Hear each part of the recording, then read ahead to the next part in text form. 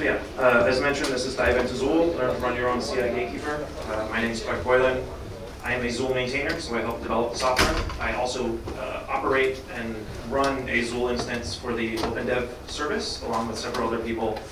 Um, so I have experience both operating and developing the software. Uh, I think it's very useful, uh, and I hope that others will find it useful as well. Uh, and so the goal here is to show you that you can run your own Zuul, potentially on a laptop or in a VM, uh, or even in a server in a data center, uh, so that you can get started and, and understand how to use the tool. Uh, you could make changes to it, modify it to your needs, and, and so on.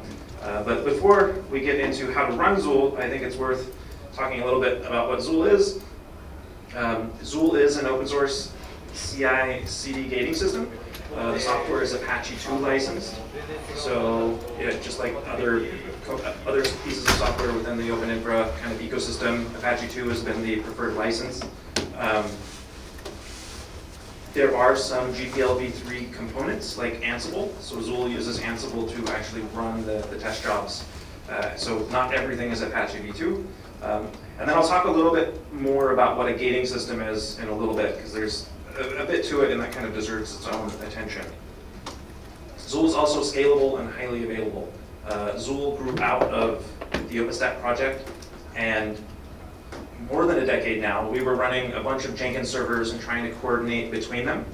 And, and we learned that you know, we really wanted to have a system that could scale out and handle the number of jobs that we needed uh, to be running, and also that we could avoid downtime with. Uh, and so Zuul kind of has that built in.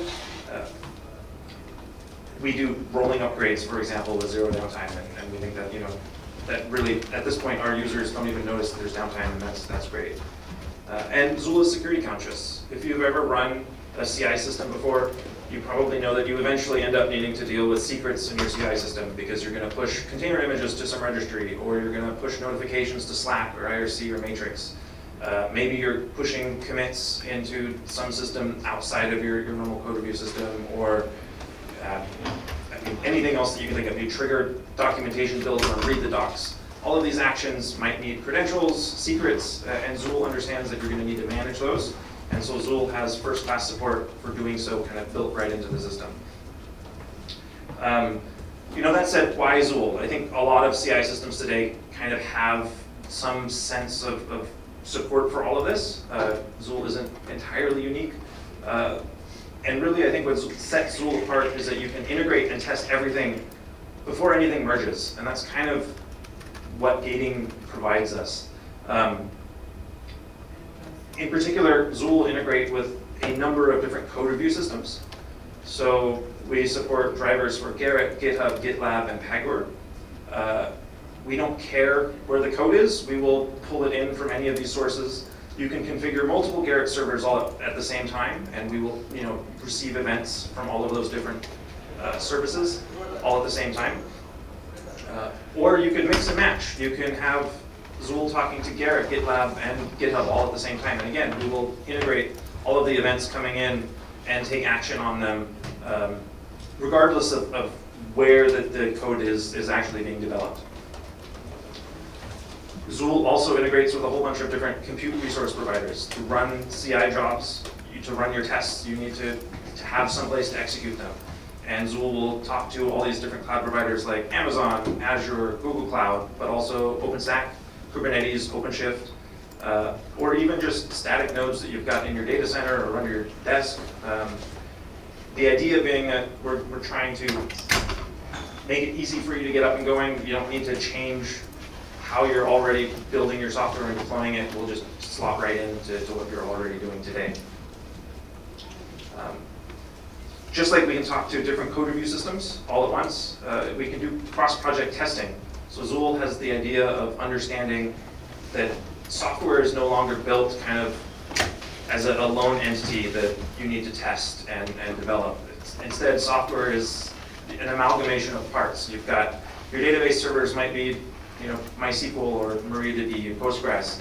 You, you're running on top of a Linux kernel. You're you're dealing with third-party APIs to whatever system that you're integrating with for various servers, services on the, the, internet, you know, ChatGPT, or even just send an email. Um, what we want to enable is for you to, to run tests that don't care where the software lives and integrates it all together and, and tests it so that when you deploy, we're going to make sure that the combination of all the parts, the integration, works and functions. Um, so for example, if you want to test a, a pull request like, to GitHub, integrating a change in Gerrit, you know, you might do that. In our case, we, we have this example because we're integrating with Ansible, uh, but Zuul is developed in a Gerrit system.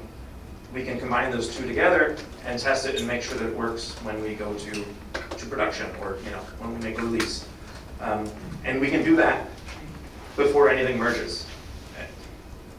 And you know, that's really powerful because we're not needing to, to make a release just to test if this new feature works in the downstream project. We can ensure everything works before we're releasing it, and then release it with confidence that it's not going to break anyone, it's going to actually function. We don't need to go through and do a fix-up release. It just works the first time. And that's where gating comes in. Um, gating is kind of leveled up pre-merge testing. We're testing our code before it, it merges. And to make that scale, you need to be able to, to run your tests in parallel.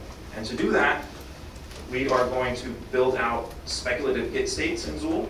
So we pretend that the code is merged in a specific order. Uh, in, this case, in Zuul's case, we're going to use the order that people, human code reviewers, click the approve button. So you say, I, I approve this code, I want it to merge in this change, you do the next change, and so on. Zuul will build out these speculative git states in that order uh, with the idea being we're going to test that future state, and if it passes that testing, we merge the code. And we do that automatically in that same order that you're approving things. And that allows us to start tests in parallel. Um, I think that, I'm trying to remember just kind of stats or who it was, but we, we have for a long time controlled the, the amount of testing that can occur just because we don't want to consume all the resources that are available to the system if things are flaky or you know unhappy.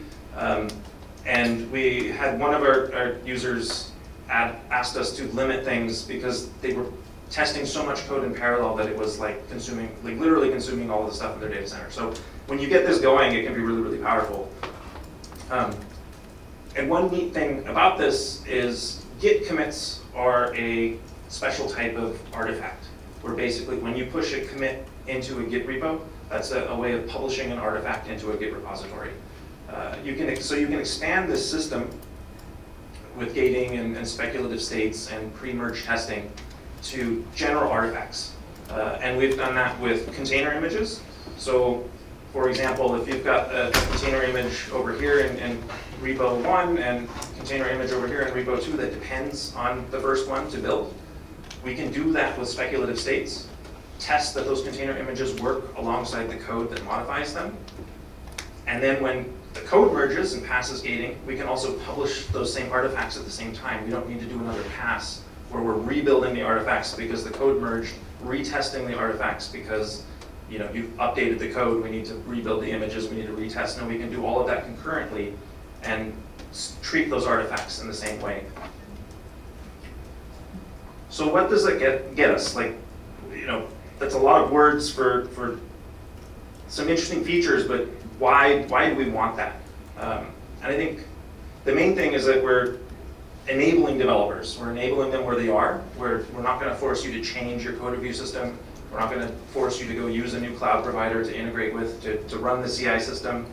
Um, we're enabling those developers to model complex systems. So the relationships between the code, the relationships between different artifacts, uh, the relationships between tests and production. We're enabling you to model all of that so that when you make big changes to the system, you're confident that those changes will work when they eventually end up in production. Um, and we're, we're handling conflicts up front. So for example, if, if you've got multiple teams in, in say a company, front end running on a GitHub Enterprise, back end running on a Gerrit, maybe a DevOps system using GitLab, they all need to work together to deploy code to production ultimately. And Zuul can sit in between them and allow those, those different teams to specify the, the dependencies between their updates. You know, one team can be doing a, a complete refactor or rewrite, another can be changing from one tool to another and, and, and so on. And rather than need to do those one after another in serial, the, the teams can simply specify, you know, we're building this on top of that, and vi or vice versa, and Zuul will test it all in parallel and can merge it in parallel as long as things work when they've done that. And so we've sped up the, the process within your, your business because the teams aren't needing to, to wait around for one another. And it's worth remembering, this is all open source. Um, a lot of people using Zuul have kind of reached out and, and edited things, made things better for them, added features, fixed bugs. If Zuul doesn't quite do exactly what you need it to do today, you can join us and, and help make it better for your needs as well. So hopefully I've, I've, sold you on the idea that running a Zuul is, is worthwhile, is, is something that you want to try. You know, where do you get started? There's a, a great little short URL that we've got that points you to some ideas on how to get started. Uh, it's at zuul-ci.org slash start. One of the pieces of information on that page is the quick start tutorial. It'll link you to that. Excuse me, let me grab some water here.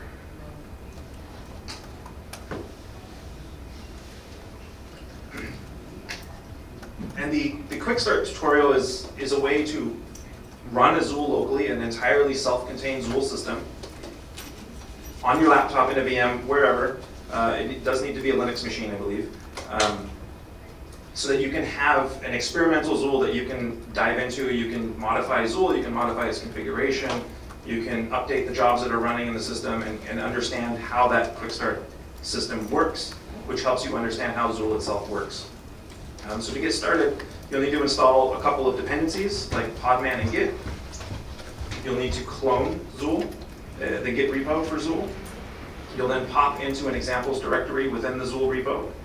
Uh, and then run a, this podman compose dash p Zuul tutorial up. This brings up all of the containers that are defined in a Docker compose file within that uh, examples directory. Uh, and those containers together represent a, a running instance of Zuul. And this takes a little bit of time, probably like, at least at home, it was a couple minutes, two, three minutes. Uh, depending on your internet connection, that may take longer or, or be shorter. Get a really quick connection to download the, the container images. Um, and eventually, things will coalesce into kind of a steady state, and you'll see that the, the scheduler, executor, and web containers will, will register with the Zuul component registry.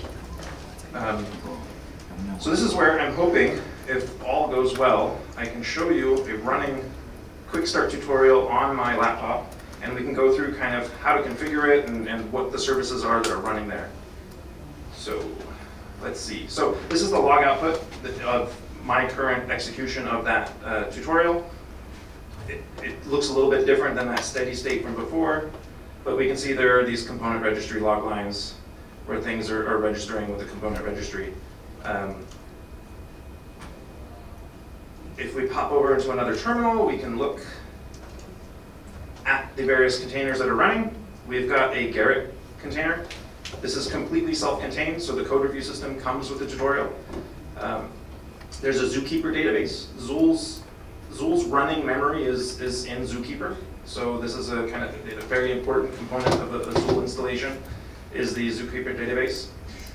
There is a MariaDB SQL database. This is Zuul's kind of long-term history of memory. Whenever you have an action in the Zuul system, it makes a record of it in the MariaDB database, and then that way you can refer back to it later, like, you know, when, how many times did this job run, how many times did it fail versus pass, so on and so forth. Um, there is the Zuul scheduler. The Zuul scheduler is Zuul's brain.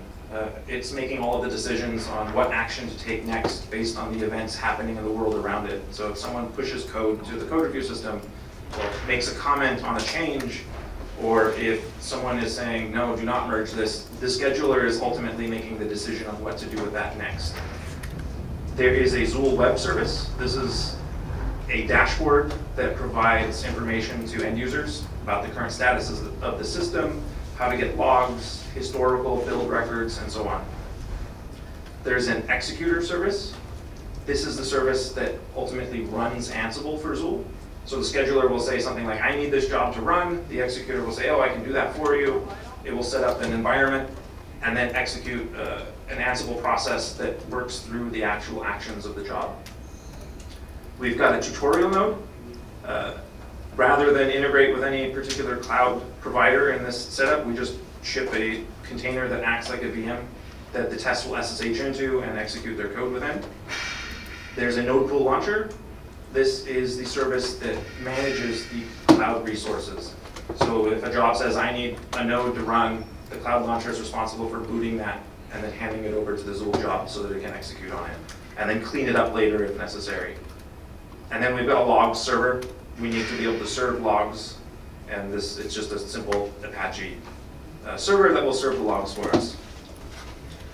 So these are services that are running. If we look in this examples directory, we've also got a couple of configuration directories that store the Zuul and Nodepool configs. Um, if we look in the Zuul conf, there's configuration to connect to Zookeeper. There's a key store password that's super secret. It's worth noting that the tutorial is maybe not the best production environment, so this is great for sandboxing and learning how Zuul works. Do it on your laptop, but don't deploy this to production because the encryption secret is not very secure. Um, that's it, it won't prevent things from working, but if your database got compromised, people would be able to decrypt what was in, in the database. It points to a tenant configuration. Zuul has the, the concept of tenants, which we'll dig into in a moment. Uh, connection information for things like, this is how I talk to our Gerrit. How to, uh, connection for the database, this is how we're recording information into that MariaDB, configuration for the, the web service, and so on. So this is kind of very basic Zuul configuration for the, the processes themselves. There is also a tenant config. And Zuul has the idea of tenants, which are a collection of Git repos that are all operating together within the Zuul system to produce you know, outcomes, to, to merge code, to deploy to production, whatever you're doing with Zuul, you put related repositories together in a tenant. Um, and, and to do that, we have to define the tenants explicitly here in this configuration file. Uh, there's a config project. This is a Git repo called Zuul config. This is where the running config for Zuul will go. Things like this is my job. This is where I've defined a base job. This is where I've defined some standard library stuff for our environment. Um, and, and what makes the config project special is that it isn't executed speculatively, which means we can put kind of security related, or not related, but conscious things in there. Uh, and because it's not executed speculatively, we don't have to worry about them accidentally leaking, which can happen if you were in a speculative system and, and allowed code to run before it was merged, or before it was reviewed, I mean. Um, and then we have normal untrusted projects uh, called test one and test two. These are stand-ins for your normal Git repos. This is where your actual code would go that you want to test. Uh, because they're untrusted, we will run them speculatively, and basically that kind of limits what they can do configuration-wise. Uh, and then we've got this Zuul jobs repo listed as another untrusted project. Uh, this is a standard library of jobs and job roles that Zuul builds for the community. Uh, things like, this is how you run a Python job. This is how you build a JavaScript project. This is how you run a Kubernetes in a test environment that you want to run against. All of that is encoded in Zuul jobs. We're going to use that here in a minute to kind of bootstrap the system and reduce the amount of work that we need to do. Then there is the nodepool config. And like Zuul, we need to tell it how to talk to Zookeeper because that's where all of the running state is, is stored. Uh, we're then defining a static node called Ubuntu Jammy. And all this is, is that's our container that we're running in the system as, as a static node. Uh, but you would, could also add providers in here to say connect to Amazon or an OpenStack Cloud, Kubernetes, whatever. Uh, but because we're keeping it a simple, self-contained system, with the, minimal dependencies, we're just using a container here. But it's worth noting that these are here because if you want to make changes to the system, you might be editing these files and then restarting the containers to pick up those changes. Um, so yeah, that's kind of the basic configuration. We have a tenant, we have some connections to the databases and so on, but we don't have any jobs. We, we haven't told Zuul what actions that we want it to be taking yet. So let's go ahead and do that. In order to speed this up, I've prepped a few changes in these Git repos. So I'm in the Zuul config repository, I've already cloned it. Um, And in here, we're creating a base job.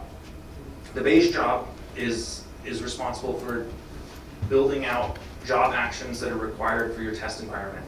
Uh, Zuul's job configuration is hierarchical, so we'll have a base job, and then children will build off of that. And it's ideal to have the things that you need to happen consistently in your environment, like setup and tear down, happen in your base job. In this case, all we're saying here is that the default node set is that Ubuntu, Ubuntu Jammy node. Uh, So when we run jobs, they will run on that node that we have defined in Nodepool. We also need to define pipelines. The pipelines determine what actions Zuul should take when certain events occur in the world. For example, we have this check pipeline. The check pipeline is going to trigger when these events occur in Gerrit, or when a patch set is created, when a change is restored, or if someone adds a comment that has recheck in the string. That will trigger a check job. It will, any unconfigured check jobs will run when these events occur. And if those jobs succeed, we vote back to Gerrit with a plus one. If those jobs fail, we vote back with a minus one. We've also got a gate job, or gate pipeline. Similarly, this is gonna trigger the jobs that are defined in the gate, and we do that when the code is approved. When we vote with a workflow plus one vote, we trigger the gate jobs. In this case, if things succeed, we plus two the change, and then we submit it. And submit is just Gerrit's fancy way of saying merge the code. If things fail, we don't merge the code. Instead, we minus two and report that back. So again, we, we're merging things if they pass. If not, we, we report it back and do not merge. Then we've got some boilerplate that basically says, in the Zuul conf- config repo, we're gonna run the no-op job for check and for gate.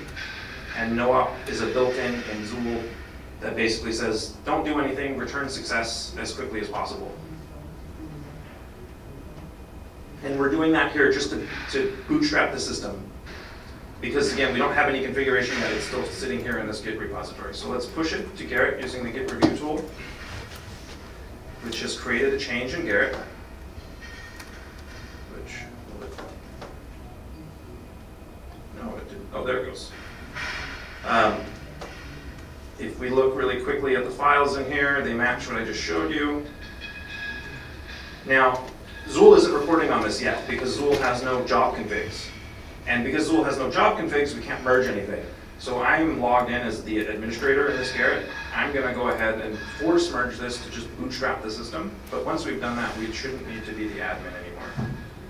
So we're gonna go ahead and submit that. That's merged. Great. So now we have a base job config and we have two pipelines defined.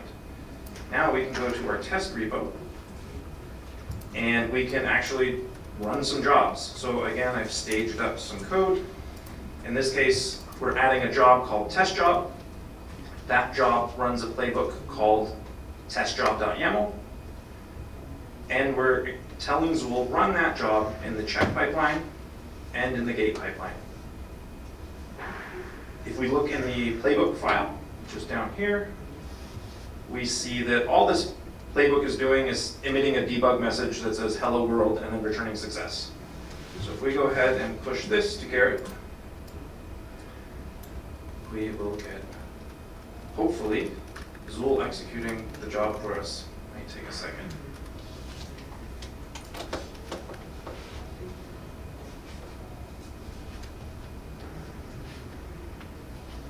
There it goes.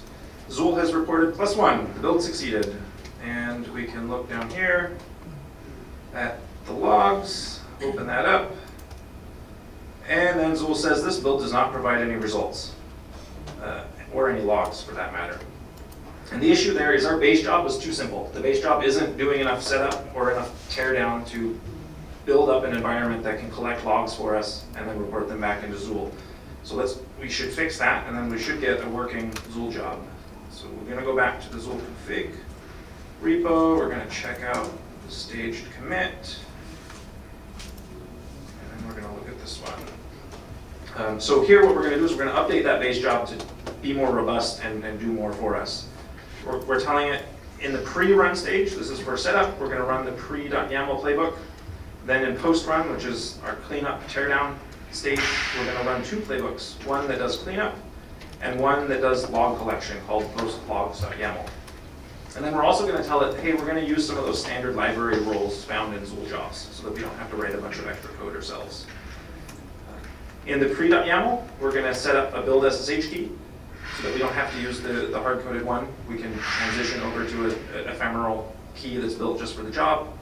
And then we're gonna set up Git repositories within the test environment for us. And we do that using two standard library roles called add, add build SSH key and prepare workspace Git. So we don't have to write that code. We're pulling it in from Zuul jobs. It's all written for us. In the post logs playbook, we're going to generate a Zuul manifest, again using a standard library role. And what that does is it generates a list of files, logs, artifacts, things like that, that we're going to report back to Zuul. So the job is, is responsible for recording that information and feeding it back to Zuul. And then we're actually going to upload the logs to our log server. And we're telling Zuul, hey, you can find those logs that we uploaded in that manifest at this location, which is our container that is hosting the, the logs. And then finally, we've got a cleanup playbook here. And what that does is it removes the SSH key that we added previously. This isn't super important if you've got ephemeral nodes that are single use and being deleted anyway. But in our case, we're using a static container, so we want to clean up after ourselves so that we're not leaving that container in a dirty state. So we can push this to Gerrit. And I'm going to stop running as administrator, log in as a normal user. And this time, instead of force merging the code, I'm just going to tell Zuul that I approve this code. Please merge it for me if it pass, passes testing. So I've done that.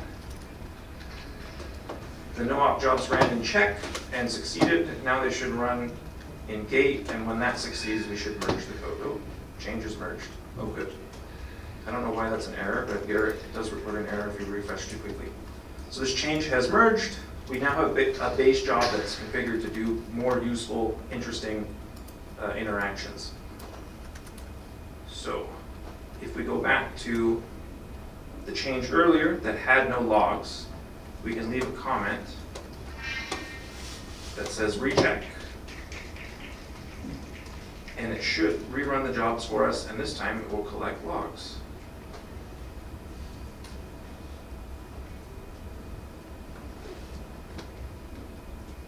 It's going to take a minute just because now we're actually doing real work in this job and it'll take just a little bit longer.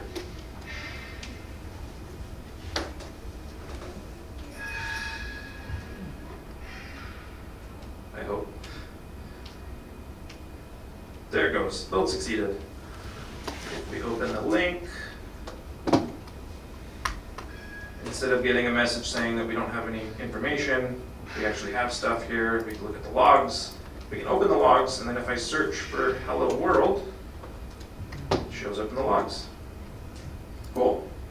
So that's kind of the, the basic bring up of a, a, a Zuul in the Quick Start tutorial. Hopefully that kind of shows you what the services are, where the config lives in this system, how to edit the config to, to do more interesting things than just a no-op job. Um, but you know, maybe you want to do more with this system. You know, what might you want to do? You could connect it to a GitHub that you have running in your system or the, the public github.com installation. Um, that, that configuration would go in the etc Zuul, uh, file. And then you can refer to Git repositories that live in GitHub within your tenant config. Uh, you know, this might be useful if you've already got code that you just want to run a build against or, or see how Zuul would, would interact with GitHub you could also potentially connect Zuul, this Zuul environment to your cloud provider that you've already got, uh, maybe an OpenStack cloud provider. This would go in that etc nodepool, nodepool.yaml file. Uh, and it would look something like this, where you're defining a, name, you're telling it the credentials are in a clouds.yaml file with this cloud defined. Only boot five servers at any one time, uh, so that we don't consume all the resources, uh, and use this image and so on. Or maybe you just want to run some real jobs. You can push code into that test one project, potentially a a Golang project with maybe a a JavaScript front end, and ask Zuul to build your Golang code and run JavaScript testing uh, on that container that, you know, it won't be terribly fast, especially if it's running on a laptop like I've got here, but you could ask the, this tutorial environment to do that for you. And I would say if you do run this tutorial and, and you start, you know, using Zuul and, and find it useful, you should get involved. Uh, we're on Matrix in the pound Zuul colon opendev.org room. Uh, there's also a mailing list which has more asynchronous conversation around kind of big changes that might be occurring that people need to be aware of. Uh, If you prefer to pay for support, uh, Acme Gating does provide paid support, and I believe there's a link to that in that zuul-ci.org slash start page, so you can get in touch with Jim at Acme Gating if, if that's more your speed. Uh, and then finally, the docs. Uh, we do have fairly extensive documentation on how to configure jobs, what feature flags are there to enable certain things that you might want to do. Uh, There's a lot of, a lot of specific configuration items that are useful in different scenarios that, you know, maybe you find would be useful. The docs cover all of that. Uh, So if you're using Zuul, definitely make sure you're familiar with the the documentation.